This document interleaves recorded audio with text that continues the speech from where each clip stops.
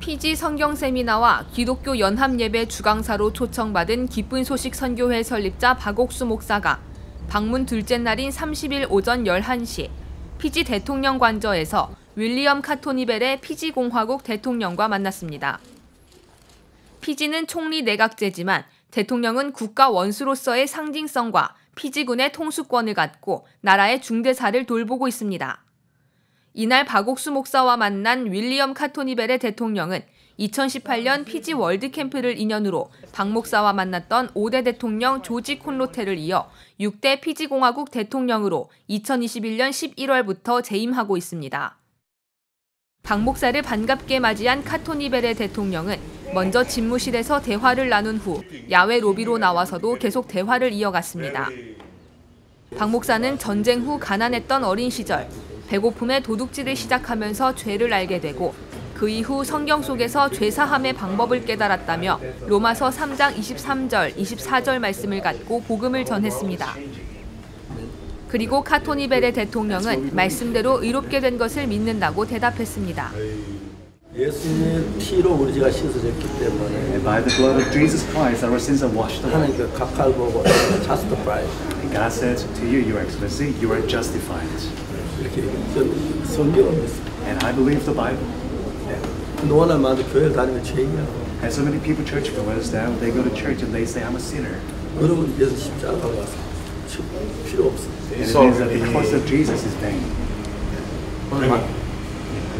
이 사실을 And that's, this is the fact that we believe. 그러면 각하고 하는 한 마음이 됩니다. And you, Your Excellency, and God can be one heart.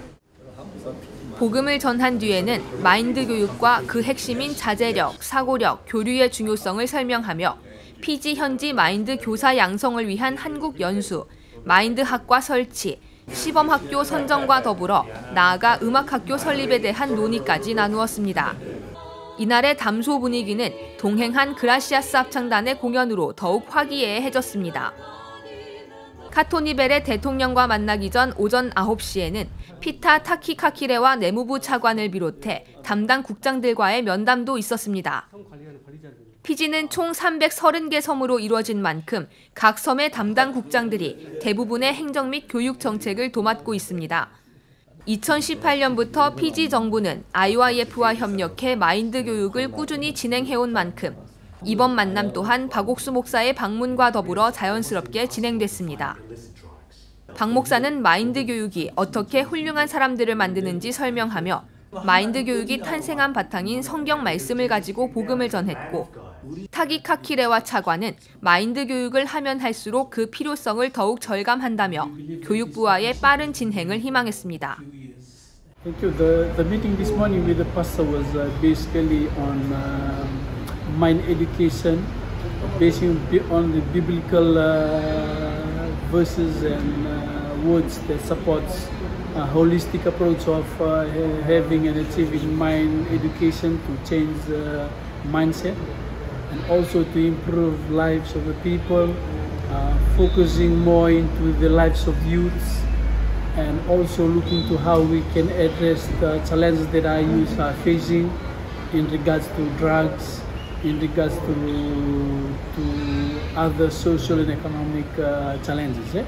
But after the meeting, I found out that it is a very important discussion so that we can uh, discuss further and how we can uh, promote, how we can implement, and how we can facilitate uh, mind education to improve the lives of our people, in particular the youth of this. Uh, and I wish to thank uh, the pastor for giving us this opportunity for the Ministry of Ethiopia Affairs, and we are looking forward for the future engagement and collaboration in this regard. Thank you. 이번 박옥수 목사의 방문을 계기로 확인할 수 있었던 마인드 교육에 대한 피지 정부의 협력과 지지. 이를 바탕으로 활발히 펼쳐질 마인드 교육이 향후 피지 청소년들의 미래를 밝혀주는 등대가 되길 기대해 봅니다. 굿뉴스 TV 신동희입니다.